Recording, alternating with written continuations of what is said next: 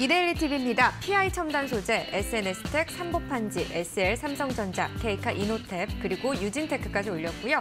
한국경제TV는 KEC, 엠로, 이노뎁, 그리고 PI 첨단 소재, 네페스아크, 켐트로닉스, CJ 제일제당까지 선정을 했습니다.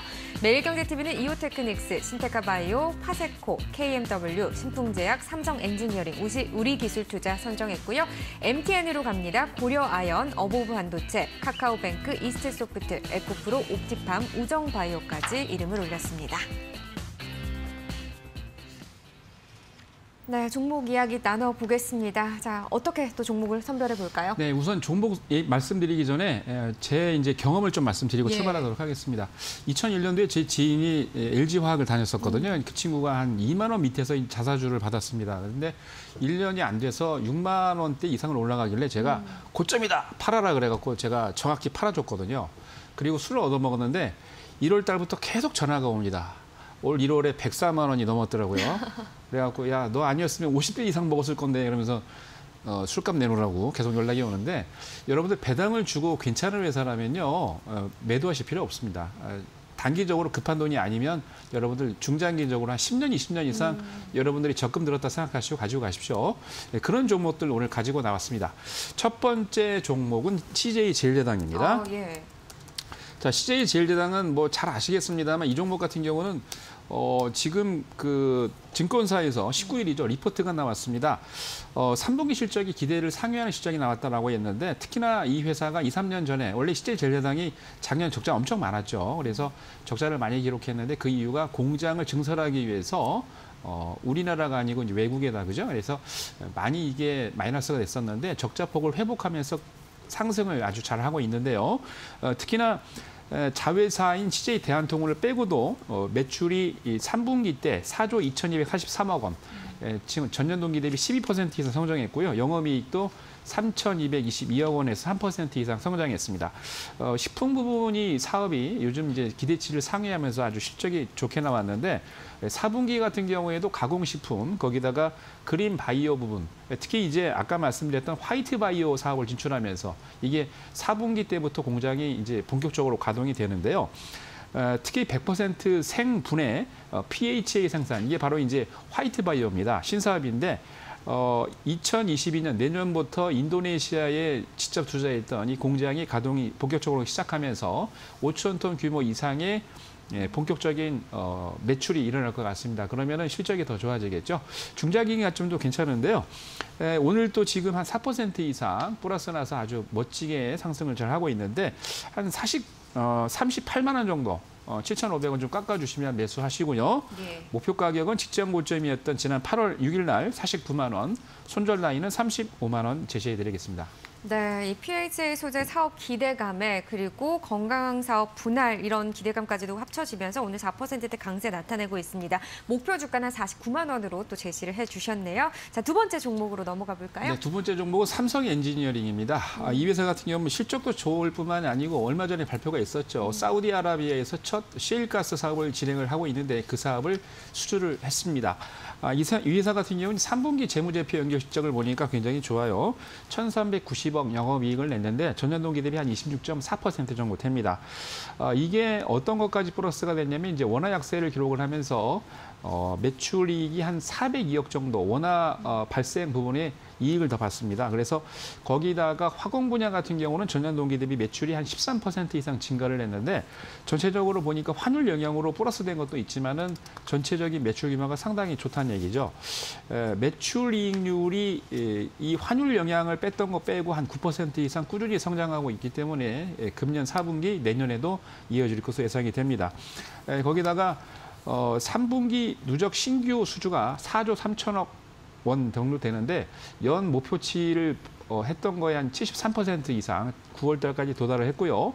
전체적으로 예측을 하는 어, 뉴스나 애널리스트를 보니까 어, 3조 원 정도 더 수주를 하고 난 다음에 6조 원 이상 무난히 달성할 것이다라는 얘기를 하면서 어, 기대감을 보이고 있고 거기다가 앞으로 그 아람코의 자브라 가스, 가스 카타르의 염화, 보- 어, 염화 비닐 플랜트, 그다음에 아랍에미레이트의 에, 보로지 등 네개 보로지 포등세개 이상의 거대 프로젝트가 지금 준비돼 있습니다.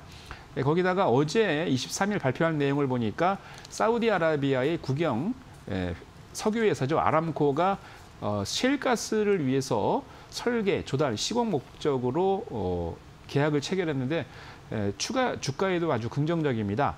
에, 자프라 가스 처리 패키지 1은 이게 이제 그 사우디의 수도가 리야 리야드인데 리야드에서 한 300km 정도, 아, 400km 정도 떨어진 곳에 있는 위치해 있는 네, 프로젝트입니다. 아, 이걸 통해서 삼성 엔지니어링은 가스 혼합물에서 나오는 이 산성가스, 불순물 등을 제거하는 예, 그런 순도 높은 가스를 배출하는 그런 역할을 하는데요. 사실 이게 이제 계약을 했지만 계약 금액 같은 경우는 에, 이게 에, 공개되지 않는 걸로 원래 비밀 에, 조약을 체결됐기 때문에 예. 발표하지 않- 않았습니다만 업계에서는 한 12억 달러, 우리나라 돈으로 한 1조 4천억 정도 규모가 되지 않을까라고 예상을 하고 있습니다. 자, 오늘 또 플러스 3%, 4% 가까이 상승을 하고 있는데요. 매수 가 격은 2만 3천 원, 그리고 목표 가격은 지난 직전 고점이었던 9월 23일 2만 8천 원, 손절 라인은 2만 원 제시해 드립니다. 네, 어제 공사수주 공시가 나왔고요. 결국 이런 해외 수주 등 신사 확대 관련해서 증권가에서도 긍정적인 리포트들도 함께 내보내고 있습니다. 오늘장 3.99% 4% 가까이 상승력 보여주네요. 23,400원대 흐름인데 지금 목표가 28,000원, 매수 시점 한 23,000원대로 제시를 또 해주셨습니다. 두 가지 종목 알아봤고요. 다음 종목도 넘어가겠습니다. 네, 다음 종목은 원자재 상승에 기대를 갖고 있는 음. 종목인데 바로 고려 아 인입니다. 고려아연이요. 예, 영풍 그룹의 여러분 잘 아시는 뭐 그 뭡니까 금이나 아니면은 뭐 동 관련해서 만드는 그런 제품 생산하는 그런 기업인데 어, 국민연금이 얼마 전에 매도를 했다라고 공시를 했는데 매도 매도한 어, 매수 아, 매도한 그런 어, 수량이 많지는 않습니다. 11월 5일 날 발표한 어, 내용을 보니까 32,680주 매도했다라고 했는데 아직도 지분을 9.71% 국민연금이 갖고 있습니다. 근데 그러고 난 다음에 15일 날 발표한 내용을 보니까 어떤 내용이 있냐면 매도 후에 에, 기본적으로 단순 투자 투자만 해서 수익을 얻으려고 투자했다가 일반 투자 목적으로 변경을 했습니다. 이 일반 투자 목적이 중요한 게 임원을 해임 선임을 할 수 있고요. 거기다가 보수도 산정하고 정관 변경 또는 배당 등 주주권의 기본이 되고 있던 여러 가지 것들을 적극적으로 이제 활동하겠다는 의미인데 앞으로 주가가 상당히 이러면 기대가 좀 되죠. 거기다가 어, 내년에 증권사들이 내놓은 리포트를 보니까 실적도 상당히 긍정적입니다. 3분기 매출이 올해 어, 1조 7,058억, 전년 동기 대비 20% 증가했고요. 영업이익도 2,800, 2,189억으로 3.3% 증가했는데 코로나 끝나고 난 포스트 코로나 이후에 선진국들이 인프라 투자를 계속할 예정이고요. 어, 특히나 현재 그 고려아연이 만들고 있는 제품들이 가격 상승을 내년에 할 가능성이 높습니다. 어, 하반기에 물류 대란 때문에 고려아연이 수출하려고 했던 제품들이 좀 늦게 예, 도착하는 바람에 이게 이연이 돼서 내년도 실적에 이게 잡히기 때문에 내년도 실적 반영도 좋고요. 거기다가 호주의 자회사인 SMC가 어, 조액 공정 황미화를 위해서 좀 이게 업그레이드를 했습니다. 공정을 만드는 거를. 그래서 공장 증설 이후에 효과를 낼 수 있다라고 보여지는데 오늘은 좀 마이너스네요. 한 0.89% 마이너스인데 에, 원래 이제 50만 원 목표 어, 매수 가격을 했는데 한 49만 원으로 만 원 정도 내리겠습니다. 매수 가격은 49만 원, 목표 가격은 62만 원. 어, 62만 원은 지난 10월 18일 날 고점인데요. 이, 이게 돌파하면 50% 비중 축소하시고 중장기 투자 괜찮습니다. 손절 라인은 45만 원 제시해 드립니다. 네, 고려 아연입니다. 오늘 장에서 약보합권이네요. 0.89% 떨어지고 있고 49만 8,500원대 흐름인데 매수 시점은 한 49만 원으로 제시를 해주셨어요. 목표가는 한 62만 원으로 드려보도록 하겠습니다. 어쨌든 흔들리는 이런 장세 속에서도 중장기적으로 지켜볼 만한 세 가지 종목을 꼽아주셨고요. 관심주 확인해 보도록 하겠습니다. 네, 보석 같은 종목, 어, 진, 속에 파묻힌 진주 같은 종목 하나 가지고 나왔습니다. 네, 바로 이제 종목인가요? 어, THN이라는 회사인데요. 이 회사는 어, 전 세계에서 유일하게 수소, 수소 부품을 만드는 회사입니다. 어, 현대차 수소차에 들어가는 수소 부품 수혜주인데요. 어, 특히 얼마 전에 발표된 내용이 있었죠. 코스피입니다. 이 회사 처음 들어보셨죠? 예, 코스피 종목인데 코스피에 상장되어 있는 기업들 중에 매출액이 전년 동기 대비 가장 높은 그런 기업입니다. 어, 현대 수소차 넥소에 들어가는 부품을 공급하는 회사인데요. 어, 세계 최초로 친환경 어, 수소전기차 전자 부품 공급 업체입니다. 어, 특히 이제 국내에서는 와이어네스를 업계 유일하게 상장되어 있는 회사인데 어, 이 회사가 특별한 거는 현대차 연구소에 직접 자기 회사의 직원을 파견해서 에, 이 어, 넥소를 만드는 이 어, 설계부터 시작해서 모든 것들을 다 참여를 할 정도입니다. 이 회사 같은 경우는 독점적인 어, 기술을 갖고 있는데요. 특히 에, 상반기에 이걸로 인해서 매출이 전년 동기 대비 코스피 상장사 중에 1등을 했죠. 이 넥소의 어, 와이어 하네스는 어떤 역할을 하냐면요.